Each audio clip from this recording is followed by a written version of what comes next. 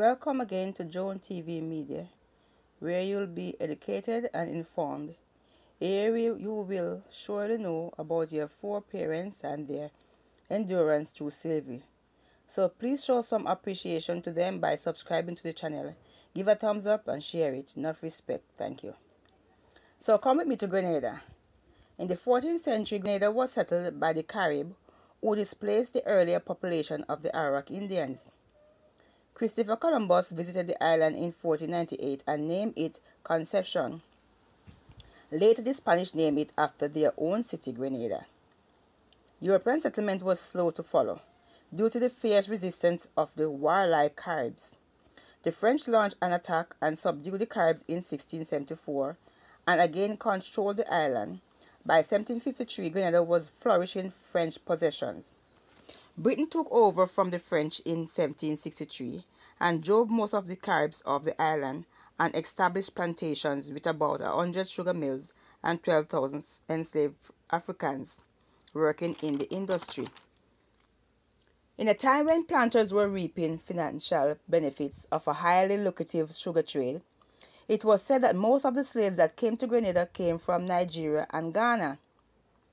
More than half a century later, when the island was captured by the British during the Seven Years of War and formally acceded to Britain by the Treaty of Paris, the English began the importation of slaves to work on their plantations in the years 1735 to 1780 witnessed the highest number of slaves arriving on the island. In the 30 years, the slaves populations of Grenada jumped to the number of slaves jumped from around 10,000 to approximately 35,000. The highest slave number would reach until emancipation. It was a very miserable, inhumane, and unforgivable existence from when the slaves were captured until their sales in Africa. In the year 1767, a slave uprising was put down. The town of St. George's was made up of all wood was burned to the ground. Julian Vidon started the revolution on the island. Vidon Rebel Rebellion, it was called. Vidon was a mixed race man who owned a plantation. He was born on the island of Martinique. He was the son of Pierre Vidon, a French jeweler. His mother was a free black slave. The family moved to Grenada in the 1750s. He was married to Mary Rose Caveland, a mulatto, in 1787. Vidon and his wife lived in Belvidere Estate in the parish of St. John's. He was the leader of the slave revolt. His objective was to convert slaves into citizens and eliminate British control colonial ruling, returning Grenada to the French people. During the month of the insurgent, 14,000 of the island slaves joined the revolution forces in order to write their own emancipation and transform themselves into citizens. About 7,000 of those self-liberated slaves made up their mind to perish in the name of freedom. They fought against the white landlords. About a hundred troops were formed by freed slaves and mulattoes. Zidane attacks went to coordinate against the citizen, the cities of Grenville and Gouyave. Vidon established several fortifications to force the British attacks. The rebellion, the rebellion allowed them to control the whole island except St. George's Parish, which was the government seat.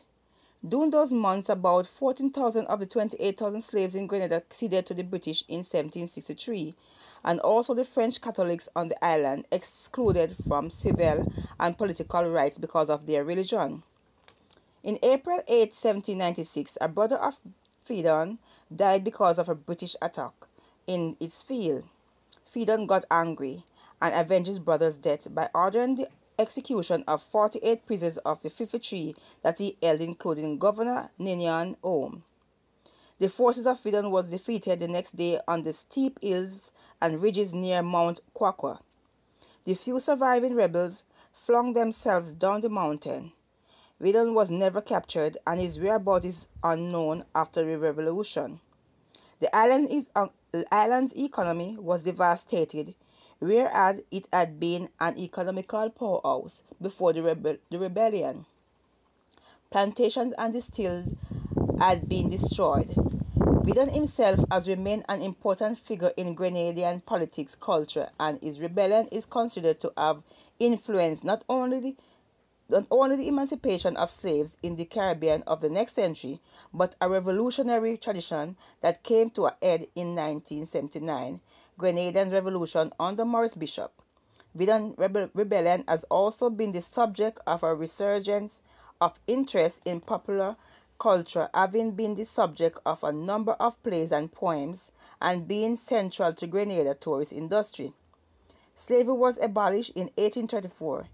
In 1833, Grenada became a port of the British Windward Island administration and remained so until 1958, when Grenada joined the Federation of the West Indies.